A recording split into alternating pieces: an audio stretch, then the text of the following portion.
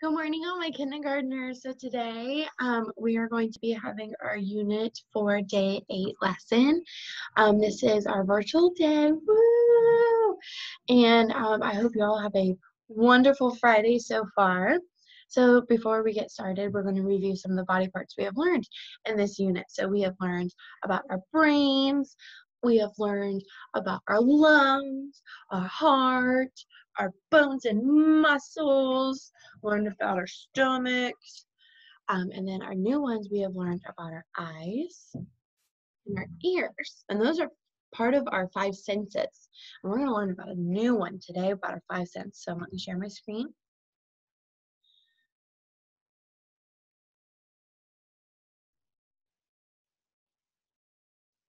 Mm-hmm. There we go.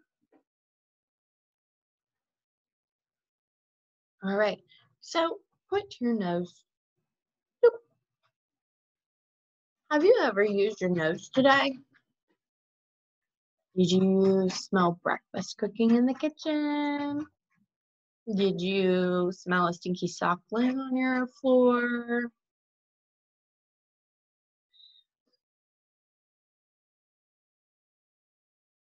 Talk to your family and see if you've used your nose today. I know I smell my coffee brewing.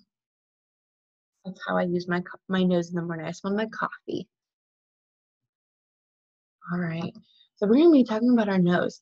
And our nose is part of our five senses. So this is the third sense we are going to learn about.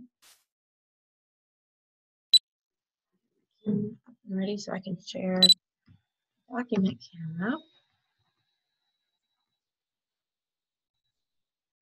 All right, here, here's our daily message. So we have five senses, and so far we have learned two. We'll talk about a third one today. Our daily message is, I have five ways of learning about the world. One, I hear with my ears. Two, I see with my eyes. Three, I smell with my nose. I see some red words that we have learned. I, here, here, here. Hmm. Ooh. And nine. And then I see another one right here. Ooh.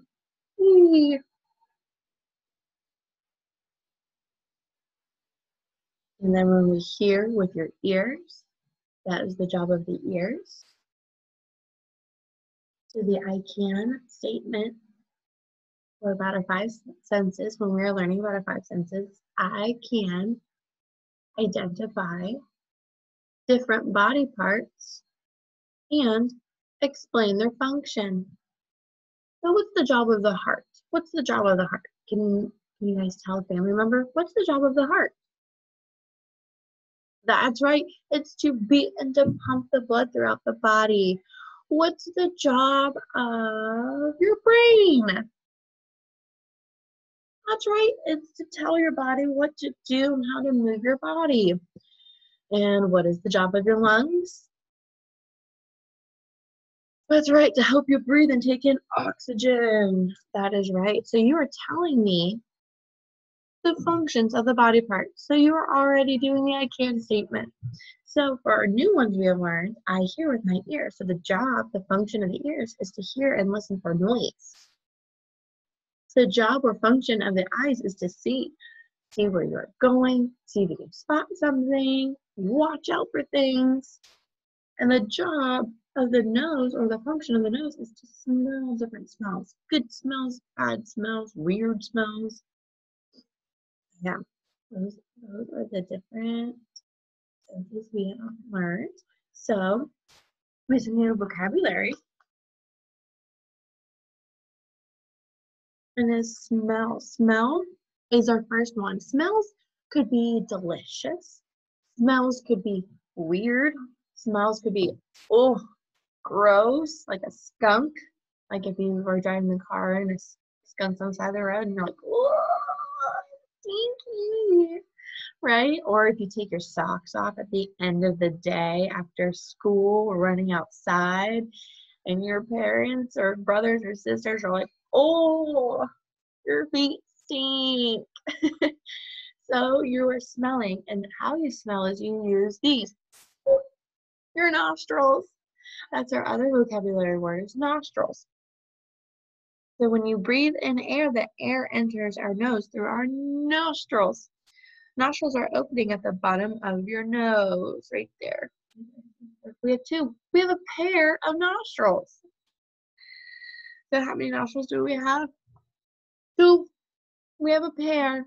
All right, so we're going to be watching our videos about our new vocabulary.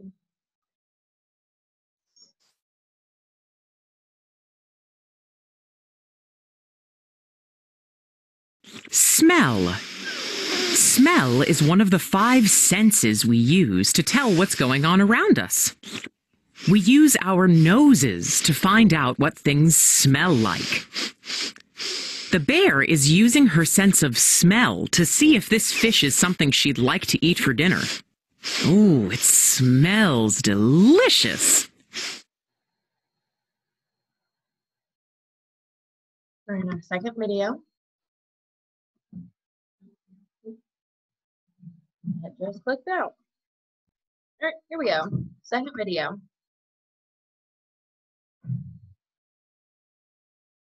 Nostrils. Nostrils are two holes in people's or animals' noses that they use to breathe through or to smell things. All right. So smell, you can smell flowers, cookies baking, stinky smells like smelly old socks. And how we smell is we use our nostrils. So here's a dog's nose. Dogs use their noses a lot to smell things. All right. Time It's to- time to say a rhyme to tell you what we know. We'll say our rhyme on tippy toes. We'll say it way down low.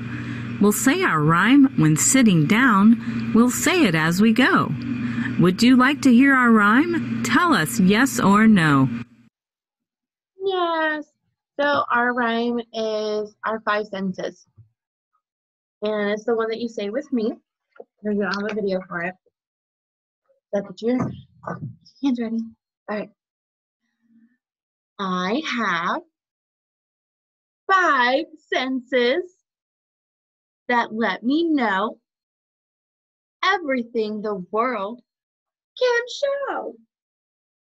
My ears can hear. My nose can smell.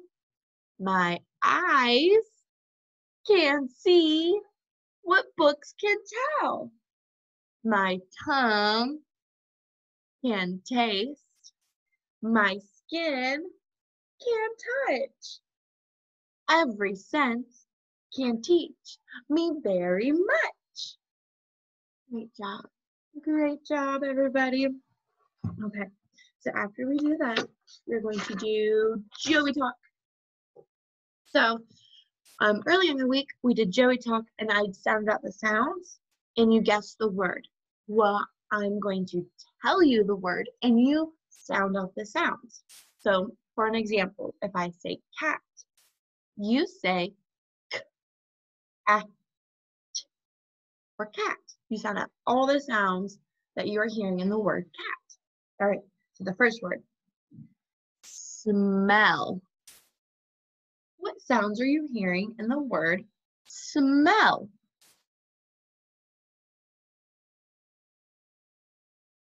Great job. You should be going s, eh. Great job, everybody. All right, the second one. See. What sounds are you hearing in the word see? Yeah? E for see. All right, last one. Are you ready? Touch. What sounds are you hearing in the word touch? One might be tricky. Yeah, well, let's try it together, okay? Ch, touch, a. Great job, everybody. Great job. All right, today on Google Classroom, I uploaded a video. Um, it's my favorite of the Little Spot series, and it's a little spot of kindness. So everybody needs a little spot of kindness in their life. So it's a great story. So go please listen to it, okay? If you haven't done so. Right. So then we're going to be um, moving on to our letters. Let me go back to my alphabet here, my slides.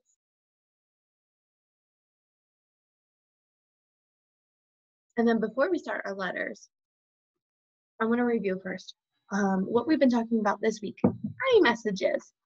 So I-messages are messages you tell somebody if you're upset and you tell them how you feel and why you feel that way so you can help solve the problem. Or it's a great way to communicate how you're feeling. If you're really excited, if you're really super happy, if you're so so today, but it's a great way to start practicing communicating on how you're feeling. So I feel happy because tomorrow's Saturday. Or I feel happy that I get to see you on Zoom here in a little bit. So you, this is a great way to practice telling you how you feel and why you feel like that. Because it's a great way to explain your feelings instead of saying, I'm mad. And you don't know how to tell us why you're mad, so we can try to help you. Mm-hmm. Now let's go on to our letters.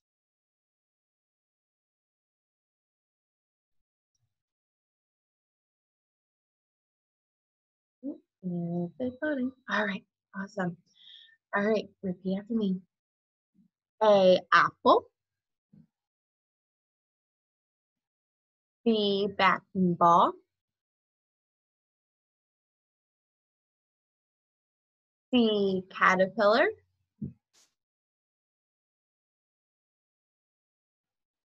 D dinosaur. E elephant. F flower. G girl. H horse. I insect. J jump. K kangaroo. L leg. M mountain. N net. O octopus. P parrot. Q queen. R rabbit. S snake. T tower. U umbrella. V vulture. W worm. X exercising fox. Y yo-yo. And Z zipper. I with some review of some videos of some sounds that we have worked on. Rabbit. Er. Er.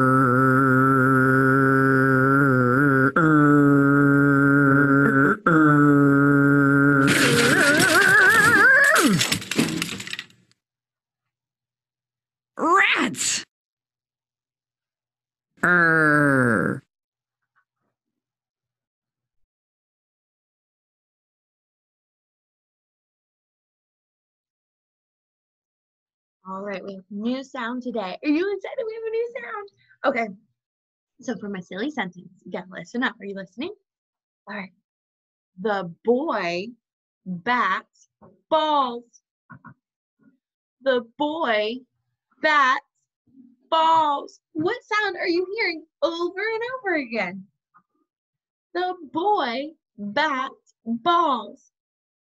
That's right, the b sound. The b sound. Or what letter, everybody? What goes b?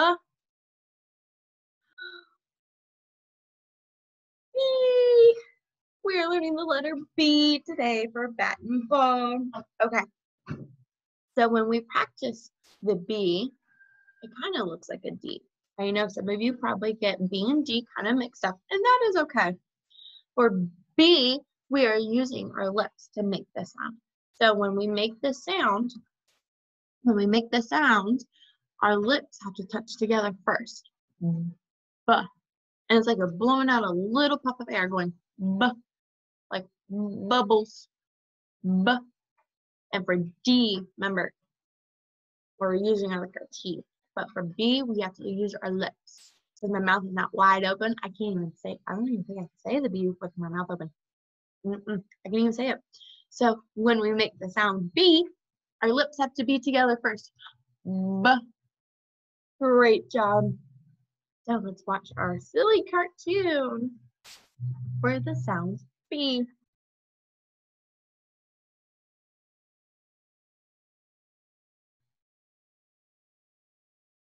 Bat and ball.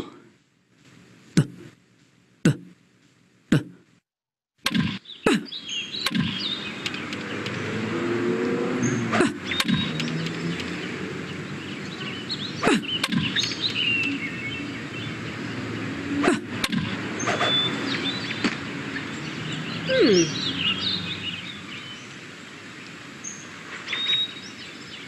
Hey, bird, bring back my ball.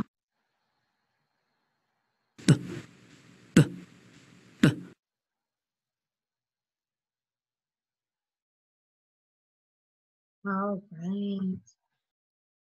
So let's look at our cards. We have balloon, bike, and bus. Let's say this together. Balloon, bike, bus. Great job, everybody. So this is the, let me get my.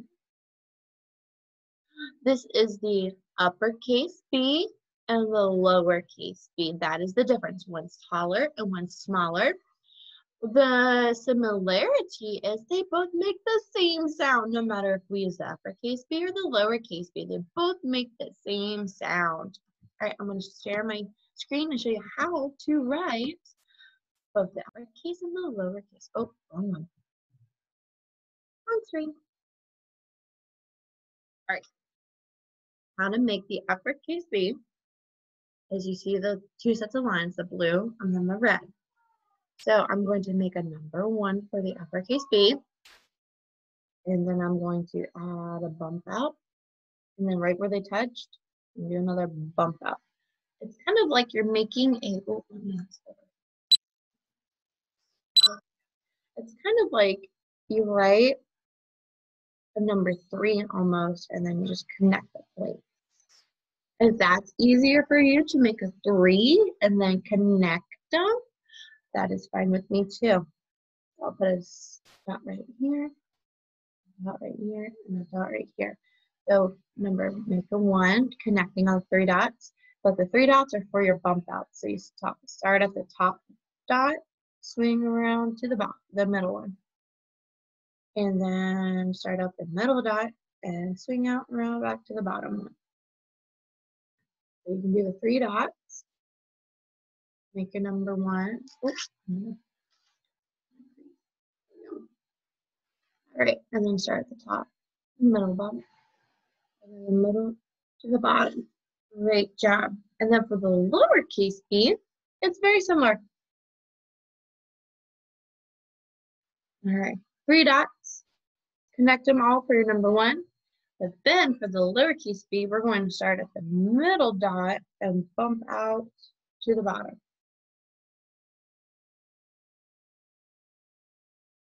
It's easier to do three dots, that's fine. Connect them, middle dot, swing out and around to the bottom.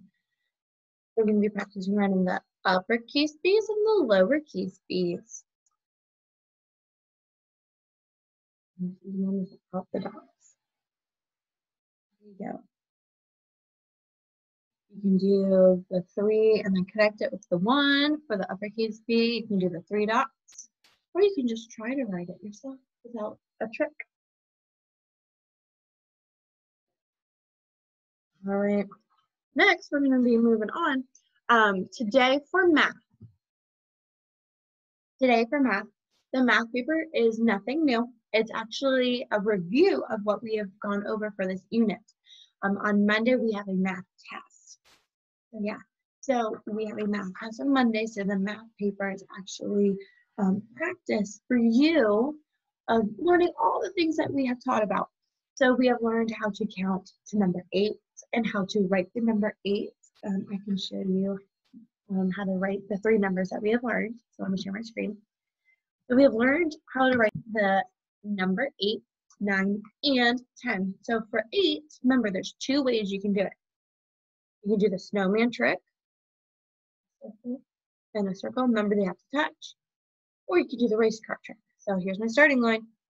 You swing out around like an S and you have to swing up to the finish line.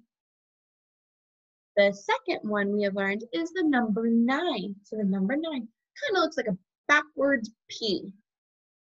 You do your circle, but on this side right here, right here, I'm gonna make an arrow, is where you put your number one attaching to your circle. It has to attach. See how it's attached? I drew over my circle because if I did it like this, I don't even know what that is. I don't I don't know what that is. That's no no. No no. So we have to make sure our lines and our circles are touching each other. And then line right there. Now, so second number we've learned, and then we've learned to count to all the way up until 10. So 10 is a number one, and then space, not too much space, but a little space, and then zero. Isn't that awesome? We have a number one and a zero together, and that, when you write them together like this, makes 10. So you could do the do, two dot tricks, tricks if they said, okay. So they gave you two dots, remember? This one's for the number one, and this dot is for zero. How awesome is that? And then yesterday, yesterday we learned about a pattern. And we didn't learn about a color, we kind of learned about a color pattern, but it was kind of hard because our papers were black and white. So a color pattern could be green, red, green, red, and then the next color would be green. Um, but the number pattern that we learned was adding one more to our group. So if we had a group, so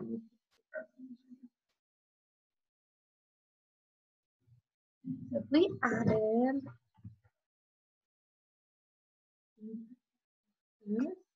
so we have this group right here.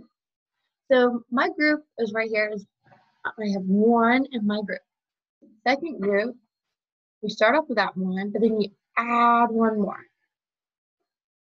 And then in the third group, start off with this group, and then you add one more. So we have one in this group, two in this group, three in this group. How many would be in my next group? That's right. It would be four because I have to start off with this group and then add one more. four now. So what would be in my next group? What comes after four? That's right, five. One, two, three, four, five. So that was our pattern. We are talking about adding one more each time. So I'll color the one that I added each time. Added this one. Added this one. I added this one. I added this one. So the ones that are purple is the block I added each time to make it one more, one bigger. All right. Um, you can hop onto Zoom if you want to, um, you know, complete the math reteaching, um, with us on Zoom, or you can um, try it yourself. And if you need help, hop on the Zoom, okay? So you also have um, your journals. So today you're going to be um, adding a sentence to a previous um, journal entry, which is going to be okay. Um, we can do that together on Zoom, practice, you know, writing not just one sentence, but two now. So we have learned about our sight, ears, heart, our lungs. So you can write about all the different type of body parts. Um, you can add another sentence to that. So when we add another sentence to our journals, we um, make it with more details. So I could say, if I chose my heart day, I can say, um, my heart beats. And then my second sentence would be, my heart beats to pump blood throughout my body. Or my heart beats would be my first sentence. The second one would be, my blood, my heart pumps blood throughout my body. So that adds more details to my story. Awesome. We can just practice writing more and more and more and adding to each sentence. You have practice your letters. You have your practice math sheet, and that is the one with like the bananas on it. It's like a separate sheet of paper. So that's the extra math today. Make sure you are reading your books. We have A Nature's Walk, and then What Smells is our second book. Um, both of them are on um, the our YouTube channel, and I've linked it to our Google Classroom, so they're easy to get to. Um, and then we will be done for today. So if you have any questions, please feel free to contact um, myself or Mrs. Wood, okay? So I hope you have a, great Friday and everybody cheer, go, woohoo, woohoo. All right, everybody. So I hope you have a great wonderful Friday, okay? Bye.